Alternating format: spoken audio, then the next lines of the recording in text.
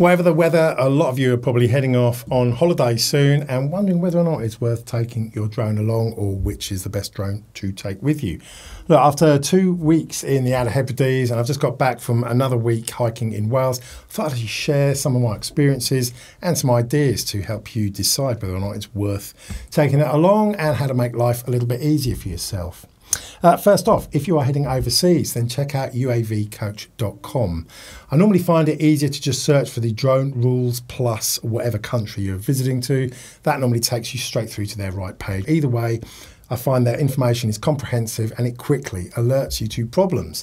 If you're visiting a country that has got some harsher rules, like Turkey, for instance, which has got some brilliant rules to make sure you cannot take your drone into their country unless you're happy for it to be seized at customs.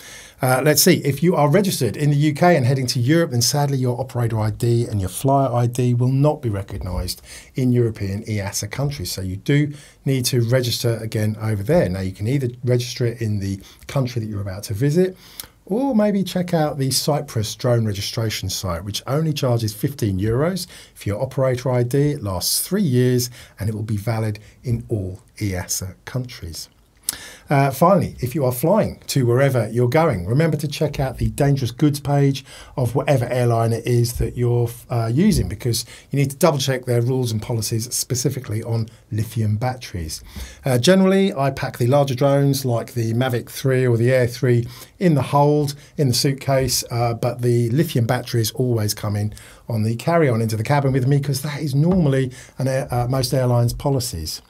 Uh, smaller drones like the Mini 4 Pro, I always just chuck it straight into my uh, carry-on luggage anyway. I normally put it in one of these small bags and I just pack the whole lot into my carry-on. Um, the X-ray operators at security, they've seen it all before. Um, I've never been asked to open up my bag to show the drones inside, so you shouldn't have too many problems.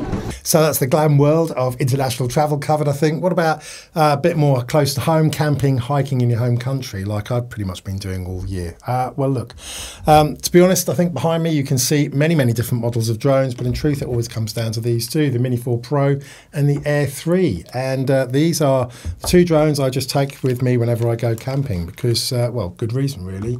You're pretty much covered for any scenario. If you're in a town or an area that's popular with tourists and you can have other people around, then the Mini 4 Pro is obviously going to give you the results you want. But if you're out in the open countryside or climbing mountains, then the Air 3, I think, is uh, it's obviously smaller and lighter than the Mavic 3, but in my opinion, it is just as capable of giving you brilliant results. Um, I've done various wind tests for all the models over the years Mini 2, 3, and 4 series. They are brilliant in strong winds up to around 25, 30, even 35 mile an hour gusts, but they do have their limits. And last week in Wales, I think I finally found that limit for my Mini 4 Pro. The poor little thing really, really fought the wind, and it was clear it was too windy for it.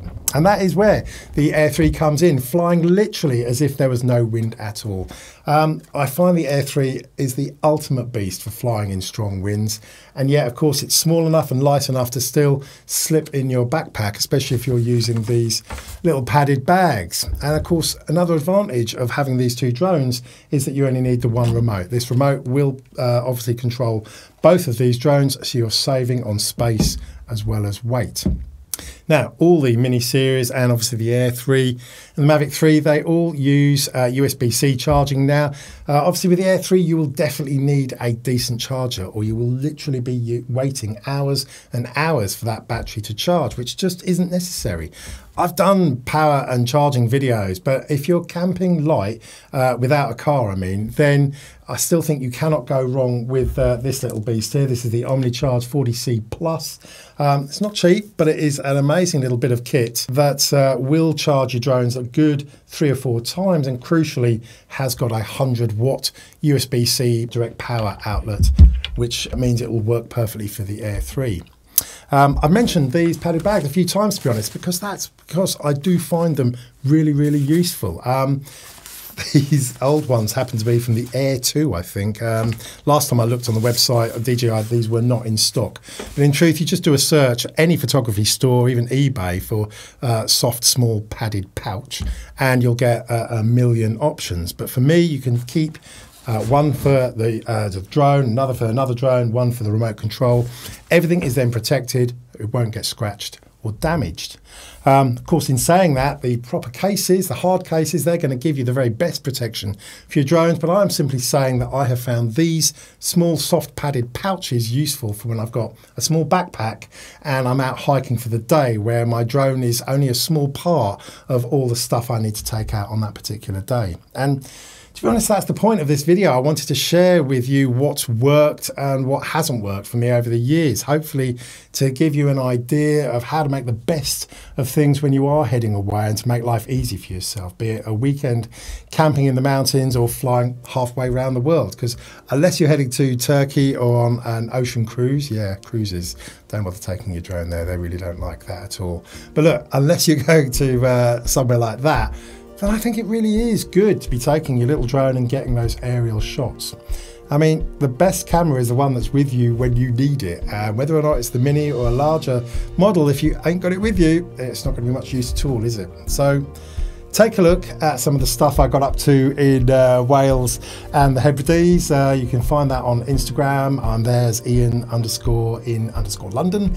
I will post links to all that I can in the notes below. You can also check out a link to Audiio. That's my new music provider for making YouTube and Instagram videos. I've got a link and a code for 70% off a year's subscription with them. So take a look at that below. But look, either way, as ever, if you like this little video, give me a little thumbs up, help out along the way.